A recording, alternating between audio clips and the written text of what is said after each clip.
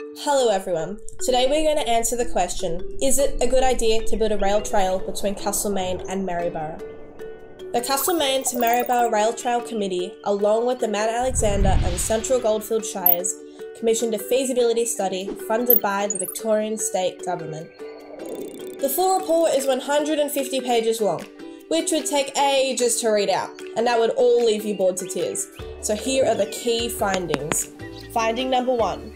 When completed, the new rail trail will attract an extra 57,266 people to the area every year. These people will spend $172 each, on average, bringing $9.8 million extra to the region annually. Finding number two. All these people spending their money means that small businesses in the area will have more customers, so there will be more businesses and jobs too. The feasibility study says there will be 168 new jobs during the construction phase and 157 extra jobs once the trail is built. This will benefit the whole community.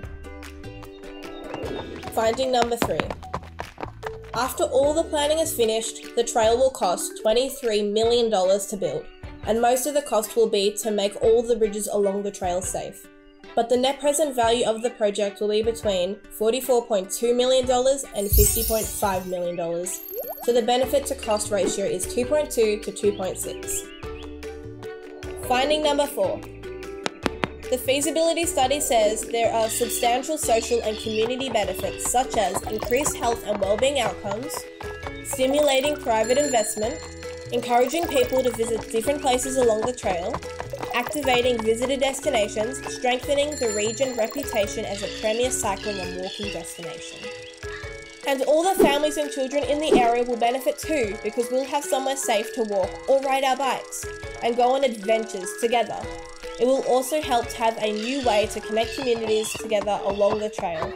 So the results are in, and the answer is yes, it is a good idea to build a rail trail between Castlemaine and Maryborough. If you like this presentation and want to find out more, you can visit cmrailtrail.org.au where you can download the complete feasibility study or read a summary there too. Thanks for listening.